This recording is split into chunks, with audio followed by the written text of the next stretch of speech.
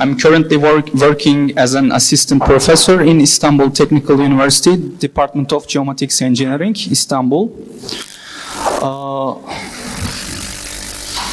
here is the table of contents my presentation. I will give a brief information about sustainability, sustainable development goals, uh, European Green, Green, Deal, net zero targets, and I will uh, continue with smart city definitions uh, and components. Then uh, I will connect those uh, topics with the geospatial big data, how to handle the, the geospatial big data, and we have so solutions like parallel and cluster processing, and some uh, frameworks like Dask GeoPandas and uh, Apache Sedona, and briefly talk about data file formats like GeoParquet. And I have a benchmark tests of the big geospatial big data uh, frameworks. And I, I will uh, give the case study, which is uh, about sustainable smart energy management uh, in order to achieve the uh, United Kingdom net zero carbon emission targets. So let's start. Firstly, uh, I will talk about the problem definition. As you see, uh, the increasing urbanization across the world makes cities more crowded and complex. Uh, this situation brings along many social, environmental, and uh, economic problems, such as housing, traffic density, and air pollution. Uh, it is uh, necessary to overcome these problems and manage cities effectively. Uh, and that is why we, we say that there is a need for sustainable smart cities that utilizes uh, information and communication uh, technologies. So in the European Green Deal, uh, there, there are some uh, targets in order to achieve uh, uh, sustainable development goals. Uh, the European Commission's Green Deal sets ambitious goals for uh, reducing greenhouse gas emissions and in, uh, investing the uh, en environmental friendly technologies. Uh, the European Green Deal sets zero carbon emission by to 2050 and there is also a 2030 goal which is uh, making the the carbon neutral co uh, continent by uh, uh by at least 50 percent uh, up to 2030 and uh, successfully imp implementing these goals requires some rigid actions by utilizing geospatial big data And let's uh, briefly talk about uh, smart cities. A smart city can be defined as information technologies to improve its services and management to solve the problems. Uh, can see that computers, mobile phones, even people's, uh, humans generate massive amount of data, uh, which increases day by day. Well, we need to take care of uh, this uh, huge, massive data, handle this data, uh, big, big data, uh, in order to achieve these Green Deal goals and carbon neutral goals. And looking at the smart cities, we have several different teams like smart mobility, smart people, smart living, and smart economy, smart, smart government. And today uh, I will be holding to the smart uh, environment, uh, which is related with green buildings, green energy, and uh, green urban planning. So how to handle geospatial big data? Uh, as we see, we have both uh, structured and unstructured data, uh, several big data sources. We need to uh, handle those by using parallel processing, cluster processing, or cloud computing, since uh, these are uh, massive uh, to store and process, analyze, and even visualize them. we cannot use traditional methods and approaches to handle those data uh, in in, we have Apache Sedona and uh, Dask GeoPandas, two uh, open source uh, frameworks to to uh, process these uh, big geospatial big data. They are big data analytics tools, and they, they are using parallel processing and uh, special indexes. Uh, the parallel processing is a method that uses two or uh, more processors uh, in parallel to process computational tasks in partitions. So it splits the task into several uh, different partitions and assign one partition the, uh, to each processor core, which greatly reduce the uh, uh, time it takes to process the data. On the other hand, multi-core processors uh, provide better performance uh, and lower the power consumption while taking care of this data. And those frameworks are using also special indexes to, uh, to, to increase the speed of processing. And here is the uh, uh, general uh, framework of the Apache Sedona. It has several de developer tools like Apache Zeppelin, Tableau, Jupyter, uh, GeoPandas, and RStudio. In our uh, in, in in this study, we have used J Jupyter uh, Notebook, a developer tool, and uh, it it can both it, it can both uh, work with vector and raster data sources uh, with special query processing uh, layers.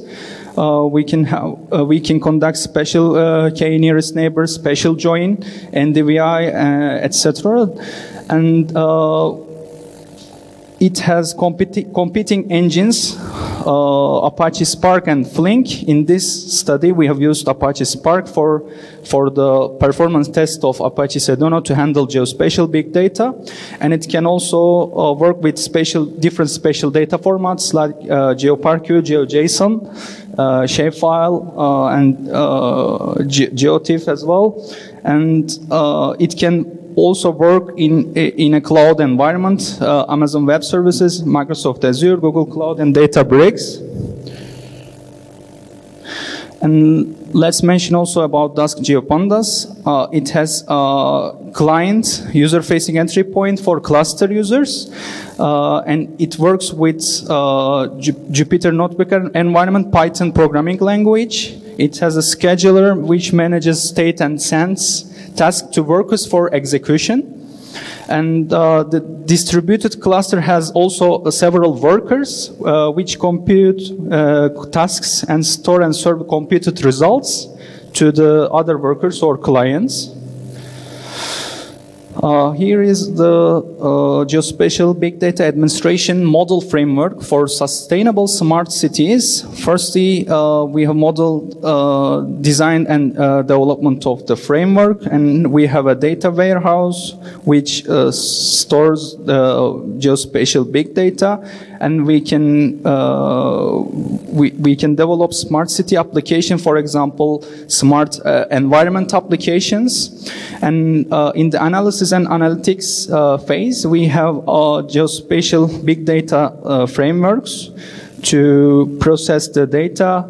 Uh, for example, we can uh, spatially join the data and create some uh, clusters, special clusters like k-means clustering.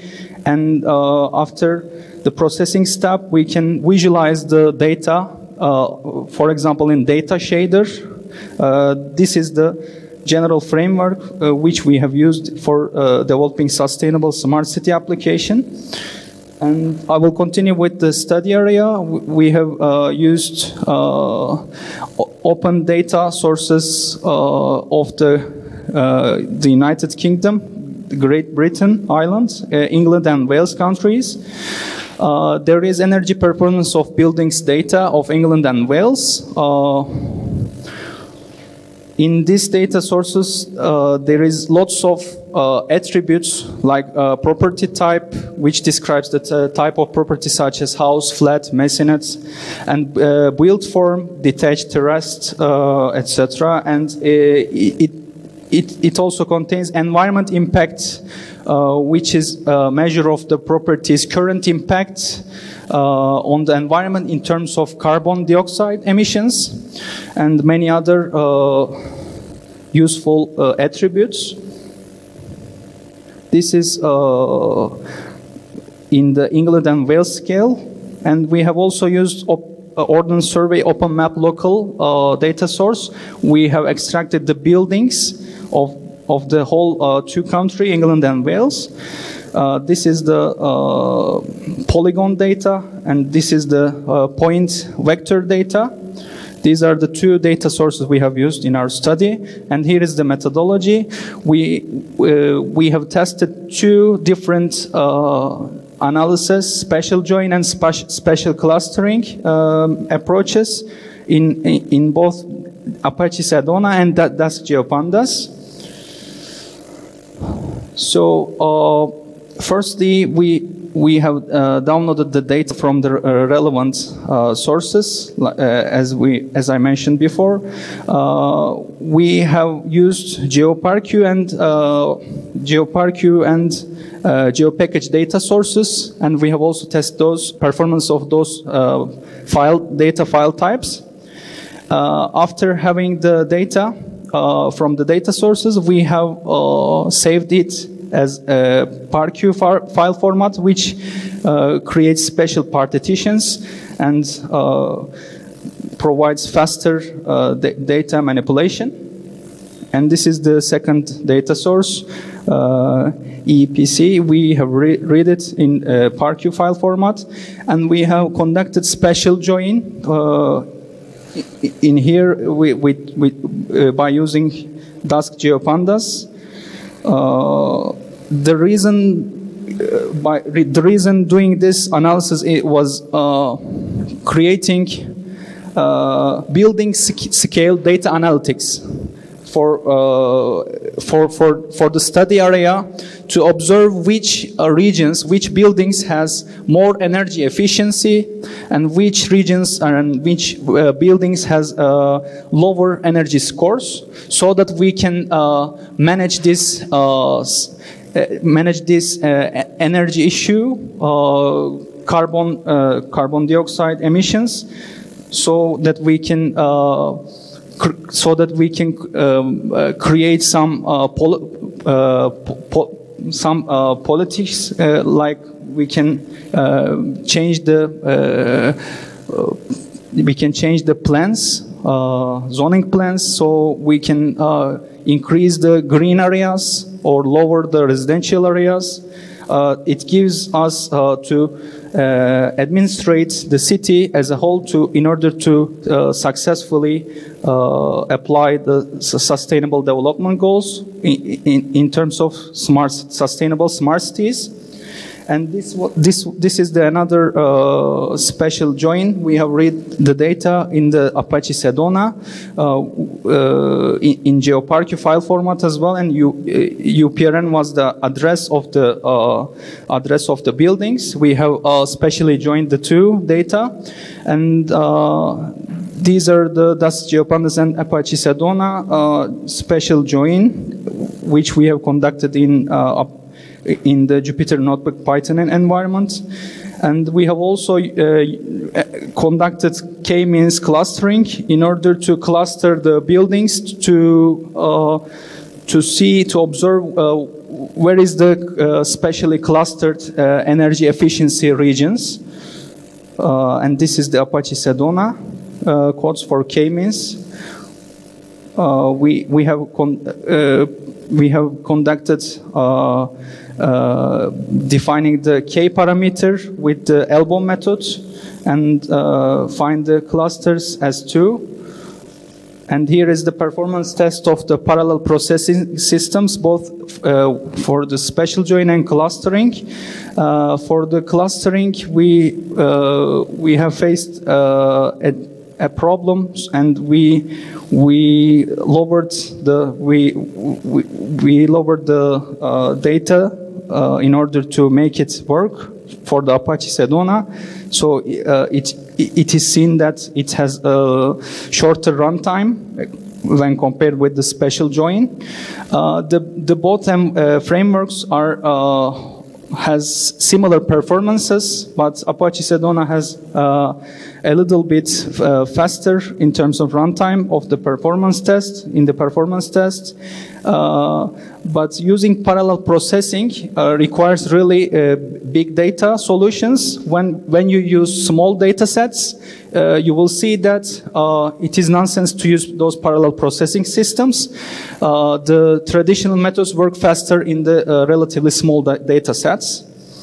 And we have visualized the building scale energy efficiency analytics using Datashader. You can uh, see that the, uh, the yellow buildings has uh, more en energy efficiency, uh, sorry, the lower energy efficiency, and we can make uh, more detailed uh, solutions for those regions in order to uh, in order to in increase the sustainability of the cities in terms of smart energy, green energy.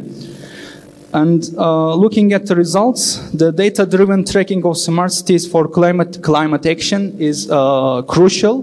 We can uh, we, we can use the data uh, in order to in order to plan uh, the cities, uh, zoning plans, and, and, green areas, the buildings, and make make the, the actions, uh, realistic actions to achieve those uh, Green Deal sets for, for all, all over the world. And development of a holistic geospatial big data administration model gives us uh, uh, a computation power uh, in order to handle uh, geospatial big data. And uh, we have compared the two geospatial big data analytics tools. We, we can use those open source geospatial big data frameworks in order to efficiently handle these uh, uh, these massive data sources and revealing the potential of geospatial big data analytics uh, was the results of uh, our study. Thank you so much. If you have any questions, uh, I will be uh, happy to answer them. Thank you.